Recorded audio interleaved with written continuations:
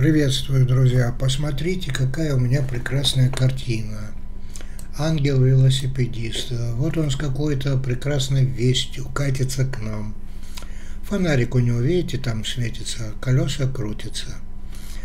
Как говорил мой друг э, Роман Газенко, который скоро будет у меня в гостях, а, это колеса сансары. Ну, это метафора. А на самом деле я сейчас буду проводить вебинар – где я вам расскажу, почему Зельдин, великий актер, э, в 101 год э, выходил на сцену. Э, чем он таким занимался, что ему это позволило жить столько, сколько он хочет, и работать творчески. Вы представляете себе, не просто 101 год человеку, а на сцене, где все его видят, чтобы вы были такими – чтобы вы владели секретами творческого долголетия э, и могли в момент удара какой-то судьбы вот эти колеса сансары крутились у вас э, с вашим фонариком в нужном направлении. Для этого у нас э, вебинар сейчас состоится. И там как раз я буду вам показывать, как закодировать оптимальное состояние творческое которое в жизни испытывали, мы его воспроизведем, закодируем. У каждого персонально будет индикатор напряжения, которым он научится пользоваться.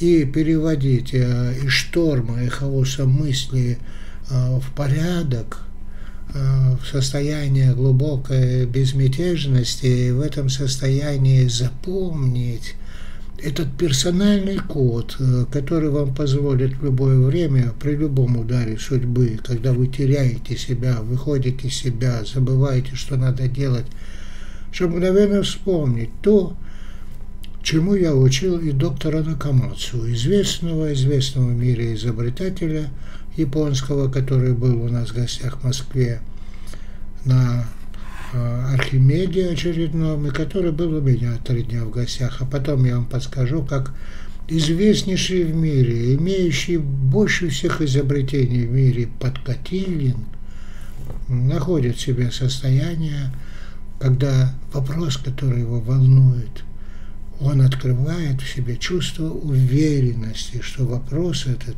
решаемый. И тогда включаются все бессознательные, сознательные ресурсы, для решения волнующего вопроса. А я вам это все подскажу, научу, и каждый из вас может это делать. А теперь еще раз посмотрите на мою картину.